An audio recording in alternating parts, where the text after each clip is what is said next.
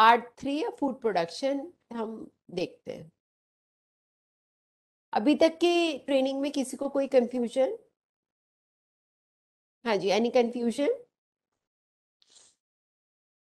Okay so सबसे first अगर हम प्रोडक्शन में बात करें तो कोई भी मटेरियल अगर हमने रिसीव किया तो क्या होगा? वो चार तरह की कैटेगरीज हो सकती है उसमें। सबसे पहला पारिशेबल होगा। पेरिशेबल मतलब जो जल्दी से खराब हो जाते हैं। एक या दो या तीन दिन मैक्सिमम चलते हैं। जैसे कि वेजिटेबल्स फ्रूट्स एग ये सब क्या होगा? जल्दी खराब हो जाएँगे। आप इसको महीने भर के लिए स्टोर नहीं कर सकते, हैं ना? दूसरा होता है कुछ रेडी टू ईट प्रोडक्ट जैसे बिस्किट कुकीज है ना? इसको आपको चिप्स ये सब क्या करना होता है हमें? बस रेडी टू ईट रहता है। Other we have frozen material frozen मतलब क्या? सी फ़ूड आता है कभी कभी फ्रोजन आइसक्रीम्स ठीक है ना? ये सारे क्या है? Frozen items and dry raw material मतलब क्या? आटा, गेहूँ स्पाइसेस ये सब क्या है? ड्राई रॉ मटेरियल्स है। अब जब आप खरीद रहे हो, तब आपको क्या क्या ध्यान रखना होगा? सबसे पहले आपको ये इंश्योर करना होगा कि आप जो भी माल खरीद रहे हो, वो साफ़ हो F S S C I number होना चाहिए उस प्रोडक्ट के ऊपर। टेम्परेचर जो भी फ़ूड का टेम्परेचर है, अगर कुछ लो रिस्क प्रोडक्ट आ रहे हैं आपके यहाँ, जैसे कि दूध, मक्खन बटर तो हमें ये श्योर मेक श्योर करना चाहिए कि उसका जो टेम्परेचर है वो सही हो। Less than five degree centigrade पे ही हम उसको रिसीव करें। अगर एग ले रहे हैं तो प्रेफरेबली आप ए ग्रेड एग लीजिए पाश्चराइज मिल्क प्रोडक्ट्स लीजिए और मीट अगर आपको कहीं से लेना है तो इंस्पेक्टेड सोर्स से ही लेना है मतलब ऑथोराइज सोर्स से ही लेना चाहिए। अगर कोई भी आपका केन है, जिसमें कुछ डेंट लग गया है, या फिर स्पिलेज हो रहा है उसमें, या पफिंग हो गई है तो आपको वो यूज़ नहीं लेना है, नहीं करना है और उसको रिटर्न कर देना है। हमेशा कोई भी फ़ूड प्रोडक्ट लेने लेने लेने के समय आपको उसकी एक्सपायरी या बेस्ट बिफोर डेट ज़रूर चेक कर लेनी चाहिए। फ्रोज़न फ़ूड में आप चेक कर ले कि उसको थॉइंग कैसे करना है। ओके अगर कोई भी तरह का पैकेट लिया आपने, जिसमें थोड़ा सा स्पॉइलिश दिख रहा है आपको इंसेक्ट या डर्ट दिख रही है तो वो प्रेफरेबली आपको अच्छे से इंस्पेक्शन कर लेना है और तभी लेना है। अदरवाइज़ उसको रिटर्न कर देना चाहिए। आप कोई भी मीट प्रोडक्ट्स लेते हैं तो उस टाइम उसका कलर ओडर स्किन का टेक्सचर वो सब ज़रूर चेक करें। रॉ रॉ प्रोडक्ट्स में क्या होगा? स्टोरेज कैपेसिटी के अकॉर्डिंग ही आपको उसको लेना है।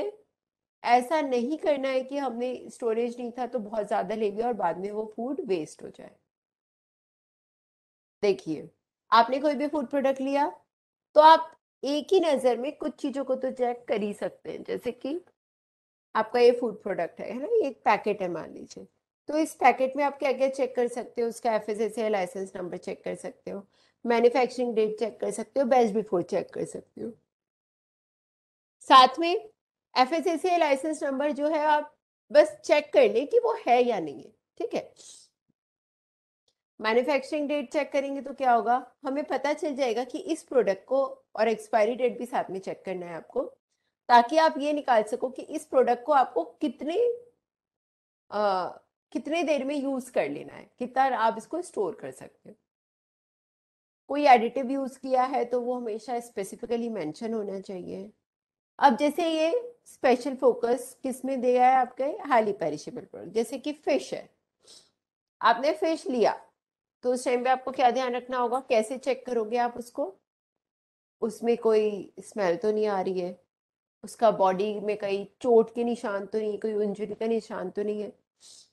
आप उसको प्रेस करके देखेंगे। उसको प्रेस करने से कहीं कुछ पानी जैसा ऑफ़ ऑर्डर का कोई लिक्विड तो नहीं निकल रहा है, ठीक है? फ़िश में स्पेशली हम आइस चेक करते हैं उसकी। आइस कैसी होनी चाहिए? आइस कैसे होनी चाहिए फ़िश की जब हम रिसीव करेंगे तो? क्रिस्टल होनी चाहिए, है ना? क्लियर होनी चाहिए। और उसमें स्लाइमी नहीं होना चाहिए वो। गिल्स कैसे होने चाहिए? गिल्स फ्रेश होने चाहिए। पिंकिश कलर के रहेंगे अगर फ्रेश रहेगा तो वो। ठीक है तो ऐसे हम फ़िश को चेक कर सकते हैं। चिकन में भी हमें ये सब चेक करना है कलर उसका वेट वूंड तो नहीं है, कोई इंजुरी के मार्क्स तो नहीं है, उसको प्रेस करके देखेंगे, उसका ओडर चेक करेंगे, ठीक है, और मीट में भी यही चेक करेंगे। देखिए, अगर हम अलग अलग कलर की ट्रेस यूज़ करते हैं एग रखने के लिए तो इसका क्या फ़ायदा हो सकता है? इसका क्या फ़ायदा होगा? इससे आप फीफो मेंटेन करने में आसानी होगी जैसे कि फ़र्स्ट कौन सा रखा है, फिर सेकंड कौन सा रखा है, फिर थर्ड कौन सा रखा है। मंडे का एक कलर ट्यूसडे का एक कलर वेडनेसडे का कलर ऐसे आप अलग अलग कलर्स यूज़ करेंगे तो आपको फीफो मेंटेन करने में बहुत आसान रहेगा। स्ट्रॉबेरीज चेक कर लेना चाहिए लेते समय फ्रेश है कि नहीं, कहीं कुछ खराब तो नहीं है। और जब आपने ले लिया तो उसको प्रॉपरली क्लीन कैरेट्स में ही आपको स्टोर करना है। okay, बताइए अभी तक आपको क्या समझ में आया? कोई कंफ्यूजन कोई कंफ्यूजन जी बताइए। अभी तक? अभी तक? मैम अभी तक नो कंफ्यूजन होता है आपको। सब समझ में आ गया? नो कंफ्यूजन यस ओके अब हम बात करते हैं रॉ मटेरियल स्टोरेज की। कैसा होना चाहिए रॉ मटेरियल का स्टोर अभी मैंने थोड़ी देर पहले बात करी थी कि स्टोरेज के टाइम पे हमें तीन चीज़ों का स्पेशली ध्यान रखना है। क्या है वो तीन चीज़? स्टोर कैसे करना है कोई भी फ़ूड प्रोडक्ट को? बताइए। बताइए स्टोर कैसे करना है कोई भी फ़ूड प्रोडक्ट को? उस टाइम पे क्या ध्यान रखना है हमको? दीवार से? हाँ जी? दीवार से कैसा रखना है? दीवार से चिपका के रखना है? दीवार से चिपका के रखना है? कैसे रखना है? यस दीवार से दूर रखना है, ठीक है? और क्या करना है? हमको ज़मीन से ऊपर रखना है और जो भी टेम्परेचर है, उसको मेंटेन रखना है, ठीक है? आपकी जो स्टोरेज फैसिलिटी है, वो ऐसी होनी चाहिए ताकि उससे क्रॉस कंटेमिनेशन ना हो प्रॉपरली मेंटेनेंस रहे क्लीन हो सके पेस्ट एक्यूमुलेशन ना हो मतलब कोई भी चूहा चूहा या कोई भी अंदर ना आ सके, ठीक? कोल्ड फैसिलिटी कैसी होनी चाहिए? अगर कोई कोल्ड स्टोरेज है आपके यहाँ तो वो फाइव डिग्री से लेस टेम्परेचर पे मेंटेन रहना चाहिए। फ्रोजन फ़ूड कैसा रहेगा? फ्रोजन फ़ूड जहाँ भी आप रख रहे हैं, उसका जो टेम्परेचर है, वो माइनस एटीन डिग्री सेंटीग्रेड से कम होना चाहिए, ठीक है? या उस माइनस एटीन और लेस रेफ्रिजरेटर का क्या करेंगे? Less than five degree centigrade dry storage जो है वो आपका ड्राई स्टोरेज जो है वो आपको बहुत ज़्यादा हाई टेम्परेचर पे नहीं होना चाहिए, ठीक है? Preferably ten to twenty one degree centigrade होए तो ज़्यादा बेटर है। Away from direct sunlight food में कई सारे फूड्स की रिक्वायरमेंट होती है। रॉ और रेडी टू ईट प्रोडक्ट्स को साथ में नहीं रखना है अलग अलग रखना है, ठीक है? स्टोर करते समय हमें रॉ फ्रूट को कुक्ड फ़ूड के ऊपर नहीं रखना है, ठीक है? और जितने भी फ़ूड प्रोडक्ट्स है, वो हमेशा कवर्ड होनी चाहिए।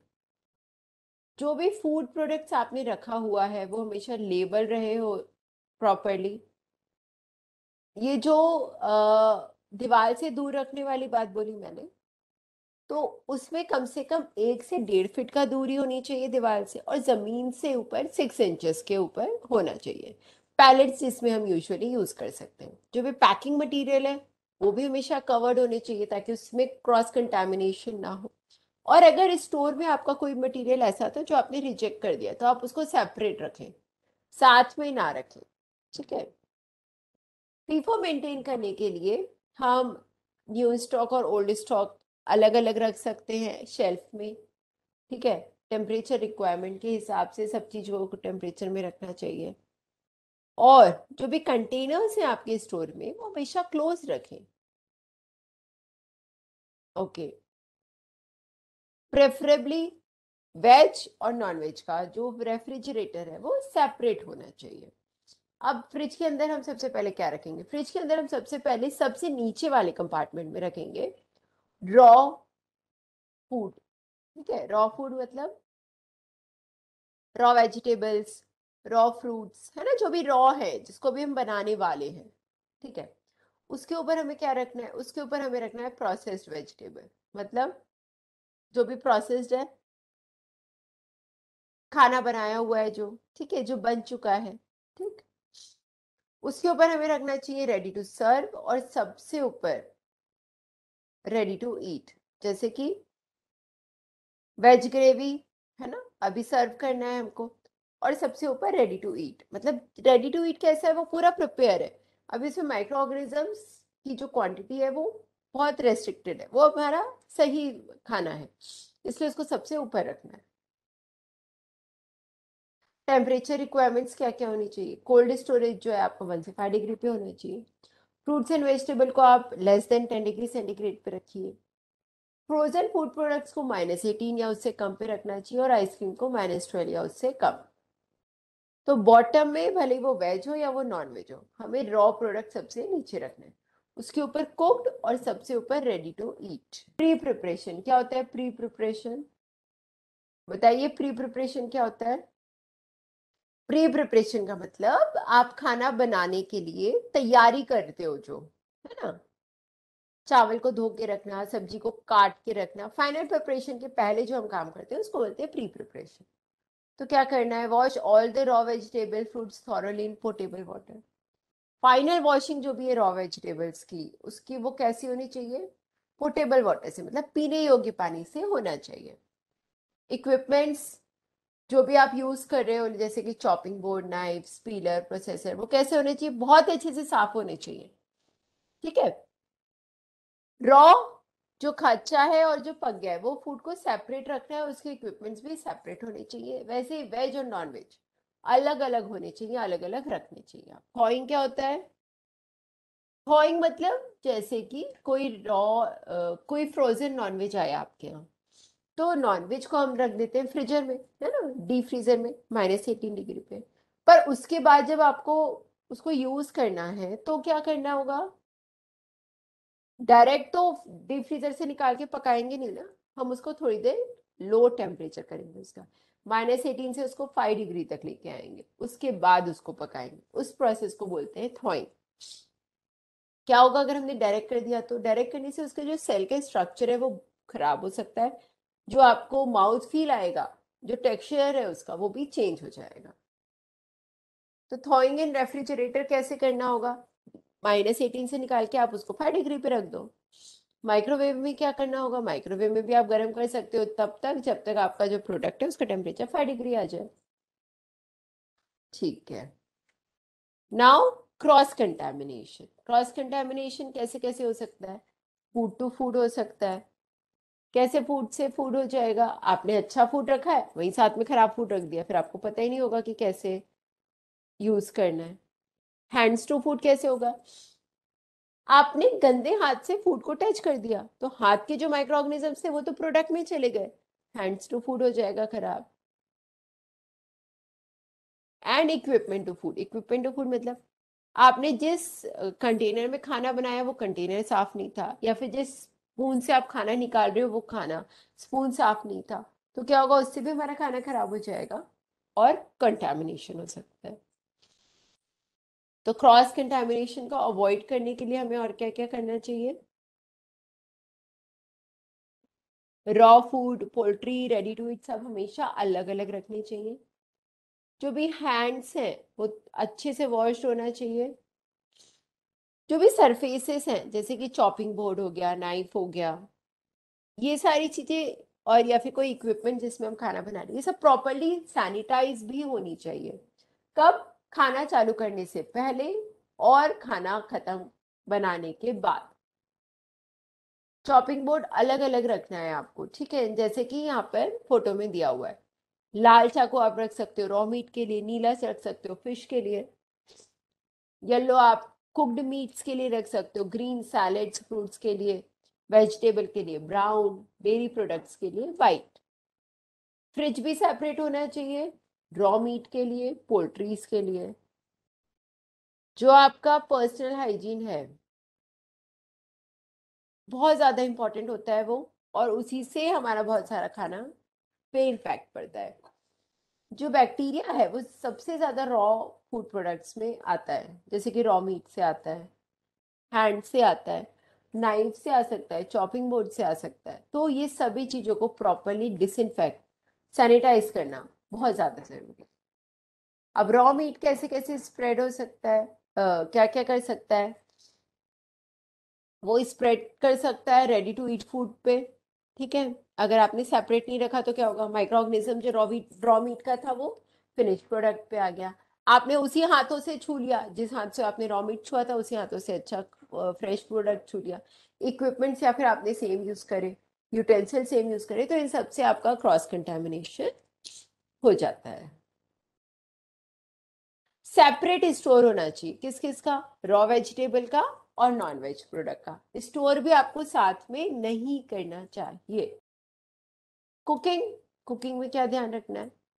मैंने आपको एक बताया था डेंजर जोन होता है। क्या होता है डेंजर जोन लिखा था आपने? याद है किसी को? जी?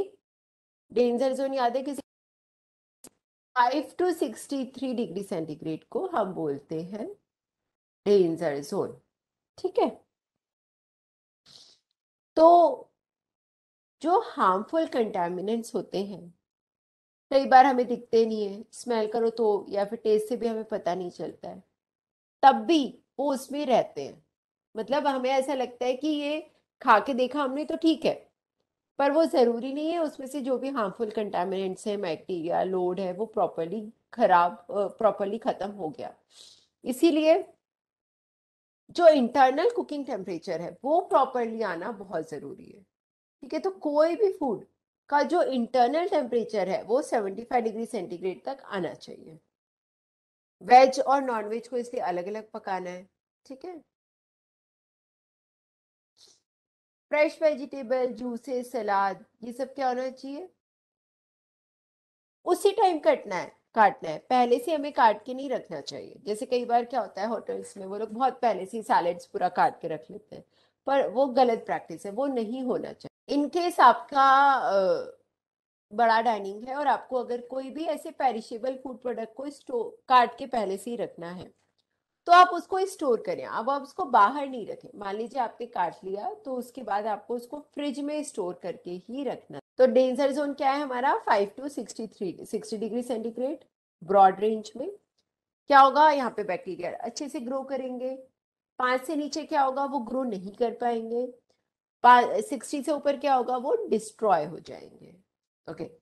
सो so, जो भी आपका फ़ूड है अगर आपको हॉट होल्डिंग करना है गर्म ही रखना है तो उसका जो गर्म रहेगा तो उसका जो टेम्परेचर है वो 65 डिग्री से ऊपर होना चाहिए।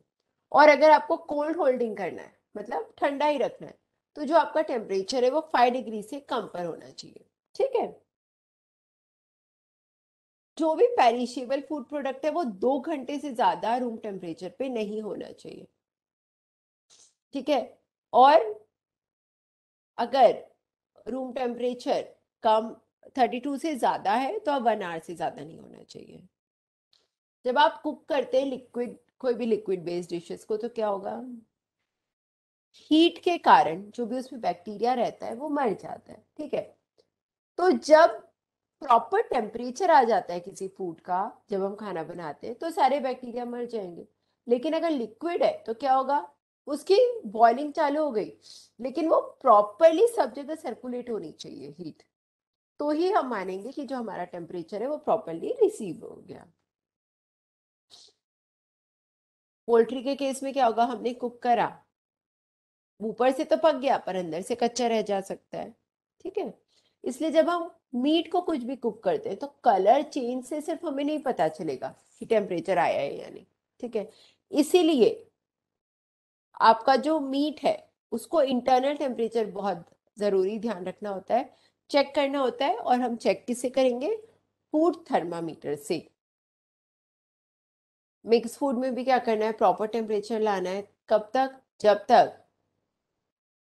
स्टीमिंग हॉट एकदम स्टीमिंग हॉट टेम्परेचर तक उसको गर्म करना है।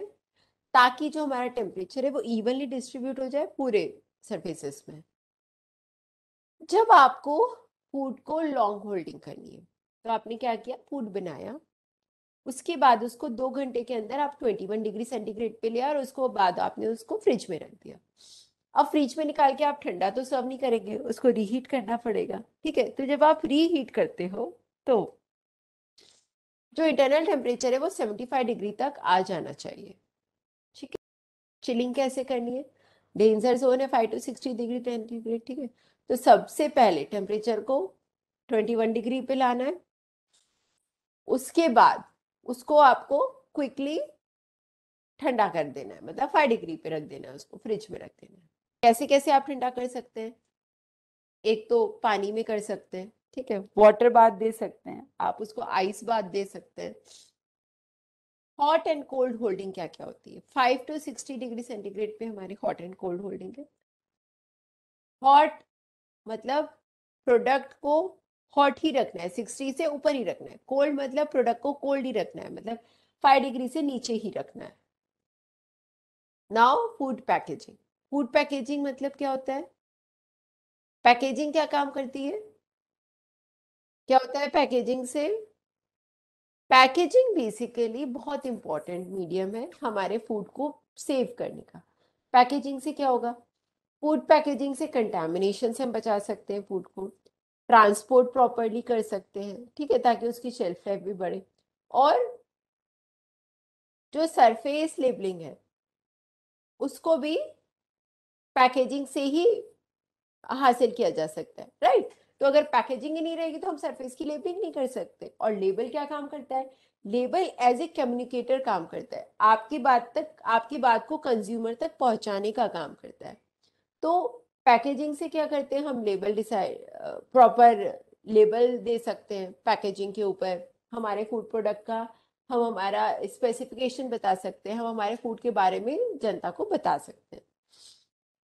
पैकेजिंग के लिए सिर्फ़ और सिर्फ़ फ़ूड ग्रेड प्लास्टिक ही यूज़ करना चाहिए। पैकेजिंग मटेरियल जो भी है कंटामिनेटेड नहीं होना चाहिए फ़िज़िकल हज़ार से। केमिकल हजार्ड से या कोई भी बैक्टीरियोलॉजिकल हजार्ड से जो भी फ़ूड पैकेजिंग मटेरियल है, जब वो मटेरियल आप सिलेक्ट करते हैं तो वो एफ़ एक्ट का जो भी रेगुलेशन है, उसमें जो स्टैंडर्ड डिस्क्राइब्ड है, उसके बेस पर ही होना चाहिए। Right right? ऐसा नहीं होना चाहिए कि आपने जो पैकिंग मटेरियल यूज़ कर लिया, वो out of then we have food distribution services मतलब क्या? डिस्ट्रीब्यूशन मतलब एक जगह से दूसरी जगह तक जाना। जैसे कई बार क्या होता है, एक जगह कैंटीन में खाना बन गया, आंगनवाड़ी इसमें खाना बन गया, फिर वहाँ से बहुत सारी अलग अलग जगह पर जाके फ़ूड डिस्ट्रीब्यूट होता है। उस टाइम पे हमें क्या करना चाहिए? जब भी फ़ूड ट्रांसफ़र हो रहा है ट्रांसपोर्टेशन के दौरान जो फ़ूड है उसको सेफ़ रखना चाहिए। किसी भी तरह का कंटेमिनेशन उस फ़ूड में नहीं होना चाहिए। फ़ूड हैंडलिंग जो है वो बहुत ही मिनिमम होनी चाहिए। ऐसा हमें इंश्योर करना है कि जिस कंटेनर में या जिस यूटेंसिल्स में हम खाना दे रहे हैं, वो भी साफ़ हो और सेफ़ रहे, सैनिटाइज रहे। जिस गाड़ी से आप खाना ट्रांसफ़र कर रहे हैं, वो गाड़ी भी बहुत साफ़ होना चाहिए। आपकी रिस्पॉन्सिबिलिटी है वो चेक करने की। आपको वो इंश्योर करना है कि वो जो गाड़ी है वो सेफ़ है। हॉट सर्विंग के दौरान कोल्ड सर्विंग के दौरान, आपका जो फ़ूड प्रोडक्ट है वो क्लोज रहना चाहिए। ऐसा नहीं हमने ओपन छोड़ दिया। ओपन छोड़ेंगे तो क्या होगा? कोई भी ना कोई हज़ार आ सकता है उसमें, ठीक है? इसलिए हाइजीन टेक्निक के दौरान हमें क्या क्या ध्यान रखना है? हाइजीन टेक्निक के दौरान हमें ध्यान रखना है कि जब भी हम कोई फ़ूड सर्व कर रहे हैं तो उस टाइम पे हमारा हाथ उस फ़ूड में टच नहीं होना चाहिए। जब आप कोई ग्लास पकड़े तो ग्लास को कभी भी अंदर से नहीं पकड़ना है, बाहर से पकड़ना चाहिए। जो भी आपका कप्स है, कोई भी चीज़ है, उसको कभी भी जहाँ पे फ़ूड कांटेक्ट सरफेस है, वहाँ से टच ना करें, दूसरी तरफ़ से टच हो। सिमिलरली स्पून स्पून को अपसाइड डाउन रखें, ठीक है? आइस आइस को सर्व करते समय भी हमारा हाथ आइस पे टच नहीं होना चाहिए। डिस्ट्रीब्यूशन सिस्टम में क्या होगा? जैसे कि कई बार सेंट्रल किचन में खाना बन गया, उसके बाद बहुत सारे लोकेशन पे वो डिस्ट्रीब्यूट होता है। उस केस में हमें क्या करना होगा? फ़ूड ग्रेड पैकेजिंग मटेरियल ही यूज़ करना चाहिए। आप स्टील के कंटेनर्स करें हॉट पॉट यूज़ करें, पर जो भी आप यूज़ करें फ़ूड ग्रेड यूज़ करें। अगर क्लीन ना हो तो क्रॉस कंटेमिनेशन होगा राइट इसलिए प्रॉपरली क्लीन होना चाहिए, जो भी कंटेनर आप यूज़ कर रहे हो। ड्यूरिंग ट्रांसपोर्टेशन हमें ध्यान रखना है कि कहीं वो जो प्रोडक्ट है, वो स्पिलेज ना हो, गिरे ना कहीं पर भी, ठीक? और अगर गिर जाएगा तो क्या होगा? बहुत ज़्यादा बैक्टीरियोलॉजिकल लोड हो सकता है। ठीक है, और क्या ध्यान रखना होता है? राइट तो और ट्रांसपोर्टेशन में हमें क्या क्या ध्यान रखना होगा? इसके अलावा हमें ट्रांसपोर्टेशन में ये ध्यान रखना होगा कि जो भी फैसिलिटी है, जहाँ पर फ़ूड जा रहा है तो वहाँ पर भी सर्विंग से पहले एक बार उसको रीहीट हो जाना चाहिए। अगर रीहीट होगा तो क्या हो जाएगा? उसमें जो भी ट्रांसपोर्टेशन के दौरान अगर आपका प्रोडक्ट में कुछ कंटेमिनेशन के चांसेस आए होंगे तो वो भी ठीक हो जाएँगे। अगर डेंजर जोन में मतलब पाँच डिग्री से लेके साठ डिग्री के बीच में अगर आपका फ़ूड तीन घंटे से ज़्यादा रखा हुआ है तो आपको उसको स्ट्रेट अवे डिस्कार्ड कर देना है। उसको यूज़ नहीं करना है ठीक है? एम्बियन टेम्परेचर पे अगर यूज़ है तो आ, रखा हुआ है तो। क्या क्या करना है और क्या क्या नहीं करना है। प्रॉपर टाइमली प्रिपरेशन होनी चाहिए फ़ूड की। ताकि जब आपने बनाया, उसमें तीन घंटे के अंदर वो सर्व हो जाए, लोग उसको, बच्चे उसको खा लें, ठीक है? और जो भी हॉट कोल्डिंग है, अगर हॉट होल्डिंग है या कोल्ड होल्डिंग है तो उसको आपको टेम्परेचर पे मेंटेन रखना है। जब तक वो फ़ूड खा रहे हैं मतलब जब तक वो फ़ूड कंज्यूम नहीं हो जाता। अगर नॉन इंसुलेटेड कैरियर्स हैं तो उसमें हमें अवॉइड करना चाहिए इंसुलेटेड प्रेफर करना चाहिए ट्रांसपोर्टेशन के दौरान। क्लीन कैरियर होना चाहिए। जिस व्हीकल में हम रख रहे हैं, वो भी प्रॉपरली क्लीन होना चाहिए। बेयर हैंड से मतलब विदाउट हैंड वॉशिंग या विदाउट ग्लव्स स्पूल्स हमें फ़ूड को टच नहीं करना चाहिए, specially ready to eat food को। कोल्ड फ़ूड जो बच गया बहुत देर तक ट्रांसपोर्टेशन में तो उसमें बैक्टीरियल ग्रोथ हो सकती है तो उसको भी हमें फेस फेंक देना चाहिए, यूज़ नहीं करना चाहिए। क्रॉस कंटेमिनेशन से बचाने के लिए, रॉ फ़ूड को, रेडी टू ईट फ़ूड को अलग अलग रखना है आपको। कलर कोडिंग आप कर सकते हो कंटेनर्स की, ताकि दोनों फ़ूड अलग अलग रहे।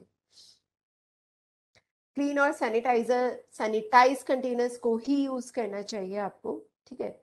रीहीट कर लें फ़ूड को 74 डिग्री सेंटीग्रेड तक। कब?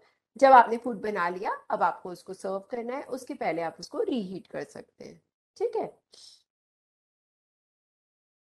और अगर आपको तीन घंटे से पहले कंज्यूम कर लेना है तो आप 63 डिग्री मेंटेन रखें टेम्परेचर और आप उसको कंज्यूम कर सकते हैं। फ़ूड थर्मामीटर हमें इसेंशियली यूज़ करना है, ठीक है? ताकि हमें पता चल सके कि फ़ूड का राइट टेम्परेचर क्या है। एनएबीएल लैब से आपको फ़ूड का रेगुलर टेस्ट करवाना है वाटर का और फ़ूड का दोनों का। वाटर का सैंपलिंग और टेस्टिंग करवाना है आपको I S one zero five double zero पे, ठीक है? और ऐसा फ़ूड जो कि डेंजर जोन में रखा हुआ है, चार घंटे से ज़्यादा उसको हटा देना है, उसको फेंक देना है, उसको यूज़ नहीं करना है।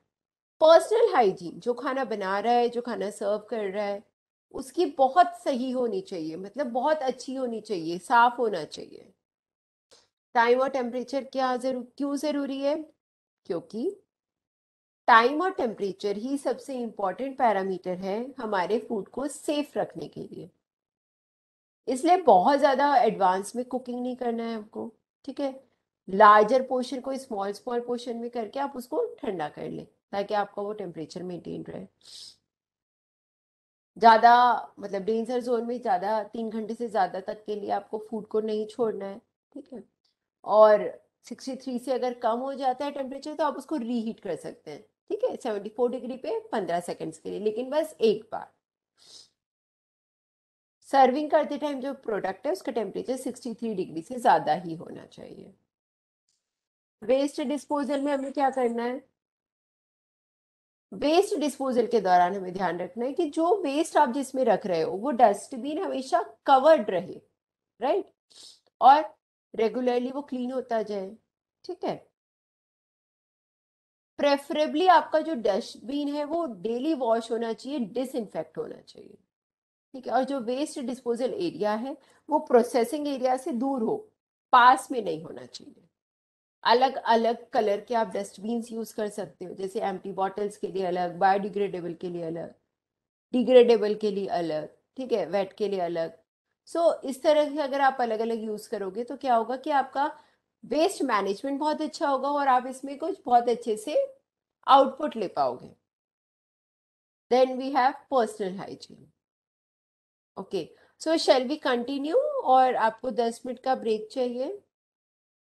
So now we will discuss about personal hygiene मतलब पर्सनल हाइजीन में क्या क्या चीज़ें हैं जो हमको देखना चाहिए? Okay okay? हम उसकी बात करते हैं.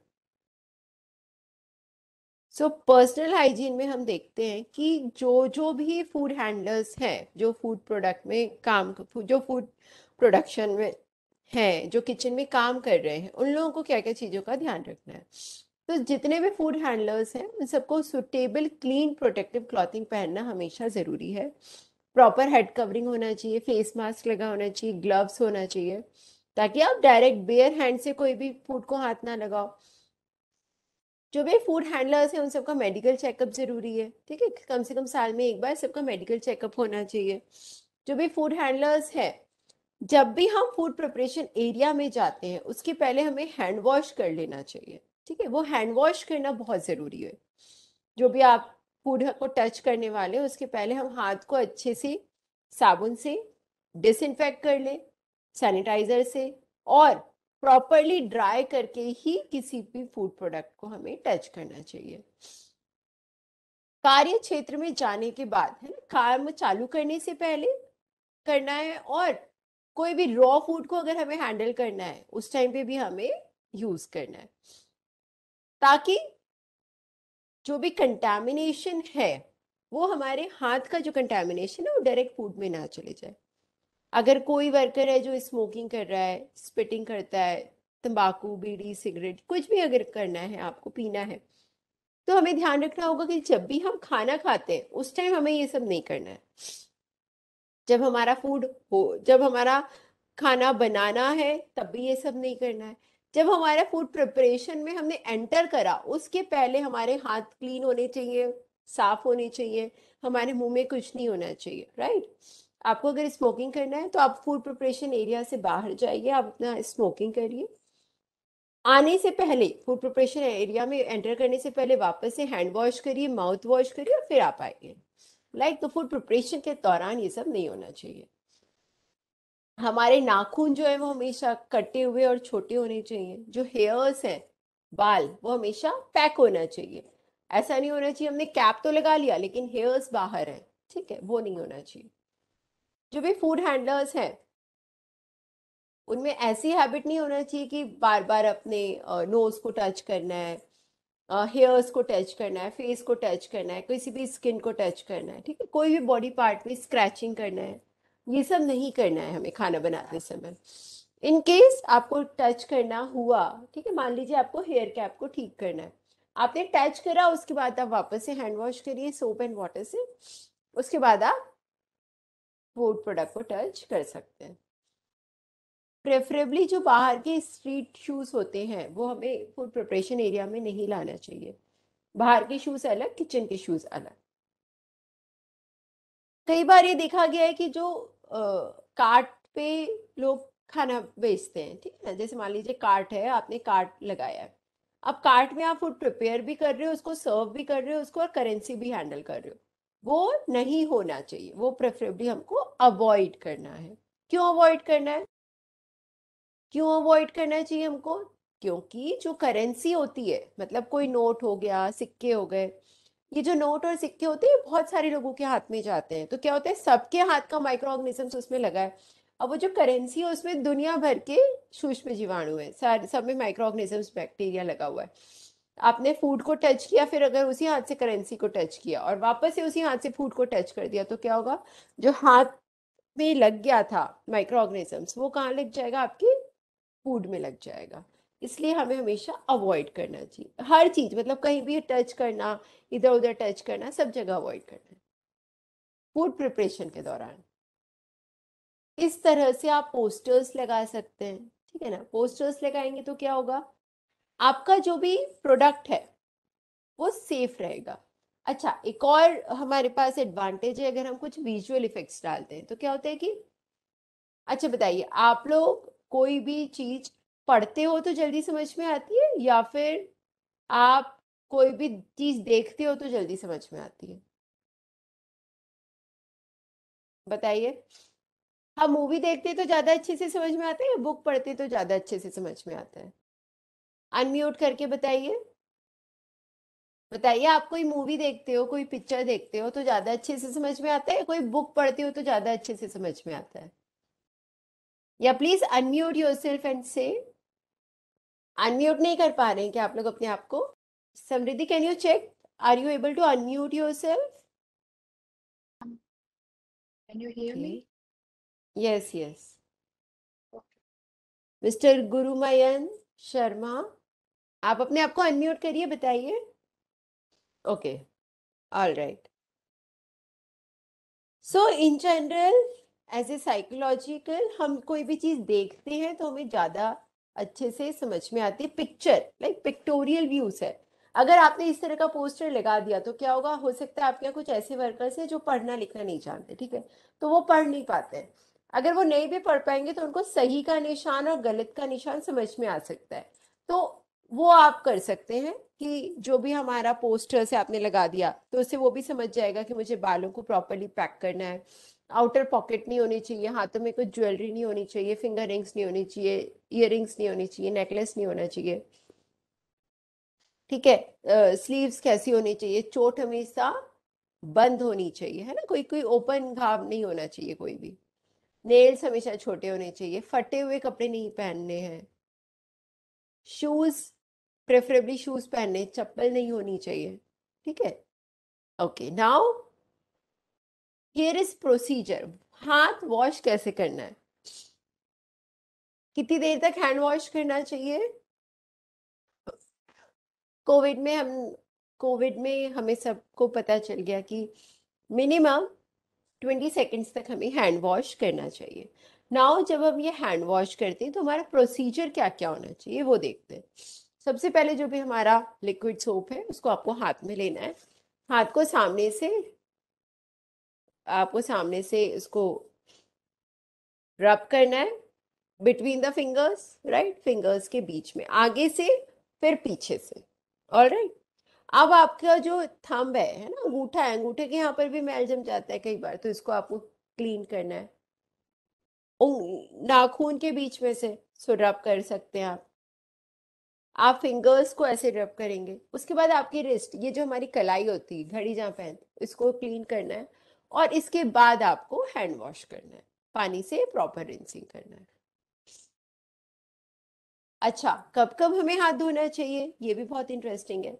खाना स्टार्ट खाना बनाने स्टार्ट करने से पहले तो हमें धोना ही है। इसके अलावा इसके अलावा भी हमें ध्यान रखना है कि जब भी हम टॉयलेट जाएँ तो उसके बाद आके हैंड वॉश करना है।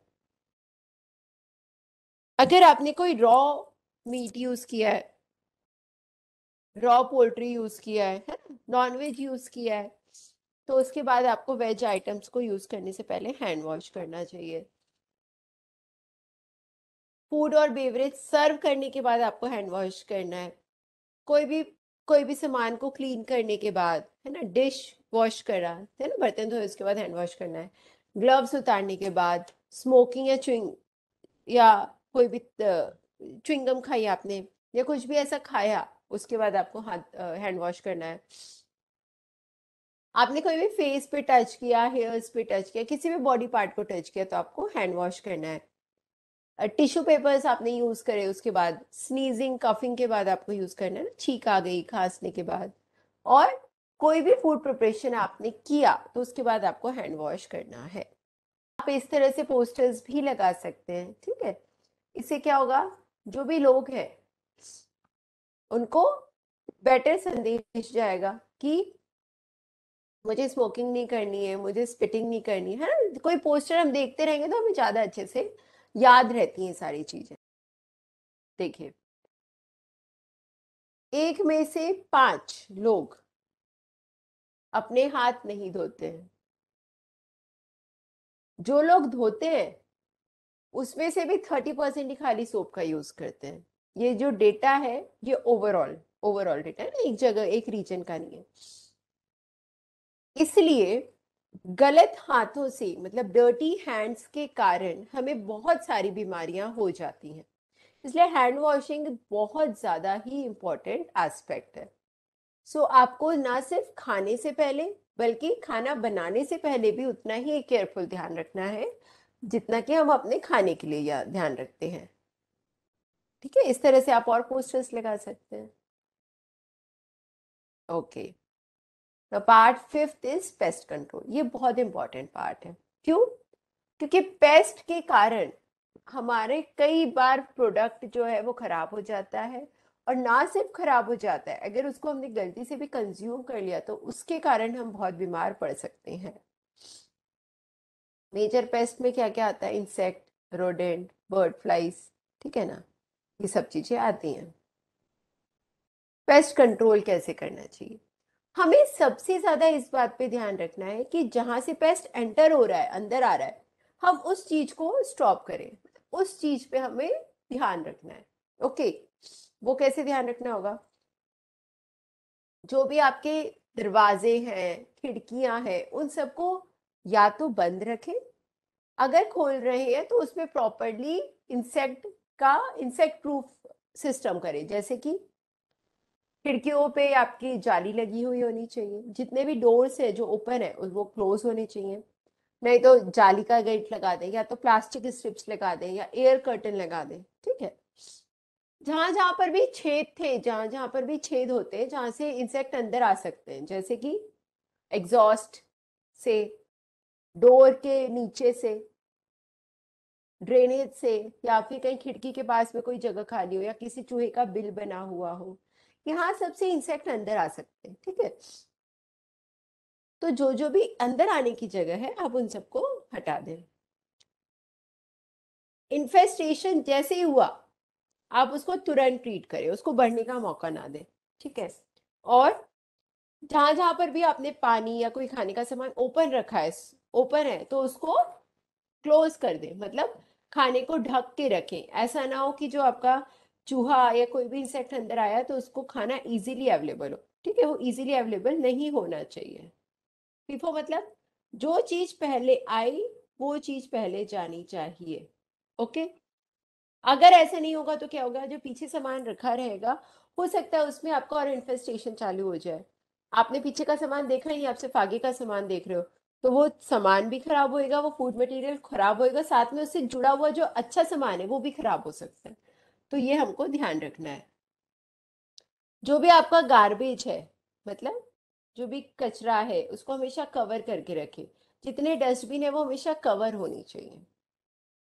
पेस्ट कंट्रोल हमेशा प्रोफेशनल एजेंसी के द्वारा ही होना चाहिए और कोई भी केमिकल को हमें फ़ूड आइटम्स के ऊपर स्प्रे नहीं करना है। ज़्यादातर हमारे पास कहाँ से आ जाते हैं? जो भी पेस्ट आता है तो ग्लास से ग्लास कोई अगर टूटा हुआ हो, खिड़की का एग्जॉस्ट से आ सकता है। शटर और नीचे का जो फ्लोर है, उसके बीच में गैप्स रह जाती हैं।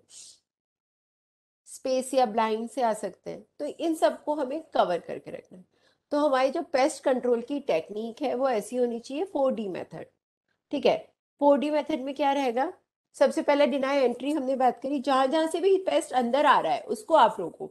उसके अंदर आने के सोर्स को रोको, ठीक है? उसके बाद डिनाई फ़ूड डिनाई फ़ूड का मतलब क्या? डिनाई फ़ूड का मतलब क्या? डिनाई फ़ूड का मतलब होता है कि आप उसको खाने को मत दो, ठीक है? आप उसको खाने के लिए मत दो। अपना जो भी खाना है, उसको हमेशा कवर करके रखिए। आपका जो सामान गिर गया, जो खाना ढुल गया है, उसको साफ़ कर लीजिए। फिर डिनाय शेल्टर छुपने के लिए मत दीजिए। मतलब जो भी हमारी बोरियाँ है, जैसे आपका रॉ रॉ फ़ूड है, गेहूँ की बोरी है, चावल का बोरा है, शक्कर की बोरी है, इन सबको कहाँ रखना है आपको? ज़मीन के ऊपर दीवार से दूर। अगर हम दीवार के सब चिपका के रखेंगे तो क्या होगा? नीचे चीटियाँ हो सकती है छोटे छोटे कीड़े आके रह सकते हैं। होता है ना कई बार जो अगर आपने बोरियाँ रख दी तो उसके अंदर छोटे छोटे से कीड़े आ जाते हैं नीचे। तो अगर आप पैलेट्स पे रखेंगे तो वो सब नहीं होगा। और तब भी अगर अगर आ गया कोई पेस्ट तो हमें हमें फोकस करना होगा डिस्ट्रक्शन पे। ओके? ये जो स्टोर दिख रहा है आपको, इस स्टोर में क्या करना होता है कि आपको प्रॉपर रॉ मटेरियल्स रखने हैं। बोरियों को प्रॉपर पैलेट पे रखना है, एक के ऊपर एक जमा के रखना है, अच्छे से रखना है। पेस्ट कंट्रोल मेथड्स के लिए अब आप क्या कर सकते हैं, आप पिंजरा रख सकते हैं, चूहे का पिंजरा यूज़ करते हो ना आप लोग चूहा पकड़ने के लिए। आता है वहाँ पे चूहा? रेड्स आते हैं वहाँ पे।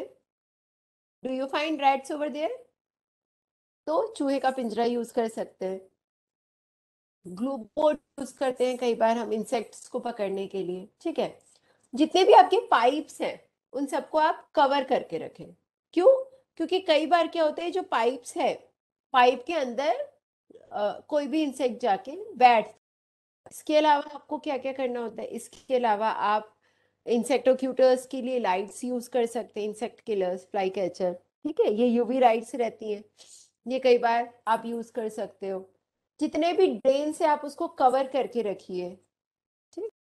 All right so thank you so much it was all about today's session आज के सेशन से आपको क्या समझ में आया? हाँ जी. आज का सेशन जो था, उसमें ये आज तक, आज का सेशन यहाँ से समाप्त होता है। आशा करूँगी कि आप आप ने जो जो चीज़ें आज हमने बताई है, उसको आपने नोट करा होगा, आपने वो लिखा होगा। सो so दैट जब भी हमारा आगे का इम्प्लीमेंटेशन हो, तब आप वो सारी चीज़ों को इम्प्लीमेंट करें और उसको यूज़ कर पाए। आप लोगों का कोई क्वेश्चन है तो आप पूछ सकते हैं। आपके प्रश्नों का स्वागत है। जी। किसी का कोई क्वेश्चन है? कोई कुछ पूछना चाहता है? Okay so thank you so much for attending the session that's all about today's FASTag training आज हमने बेसिक फ़ूड सेफ्टी ट्रेनिंग्स के ऊपर बात करी है केटरिंग सेक्टर के लिए।